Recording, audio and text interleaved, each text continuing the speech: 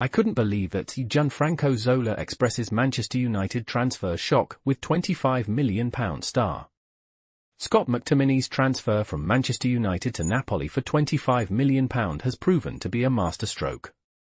Despite initial disappointment, McTominay has excelled in Italy, scoring and assisting in recent matches. Gianfranco Zola expressed shock that United let him go, praising his performances at Napoli. McTominay's move is seen as beneficial for his career, especially given Manchester United's ongoing struggles.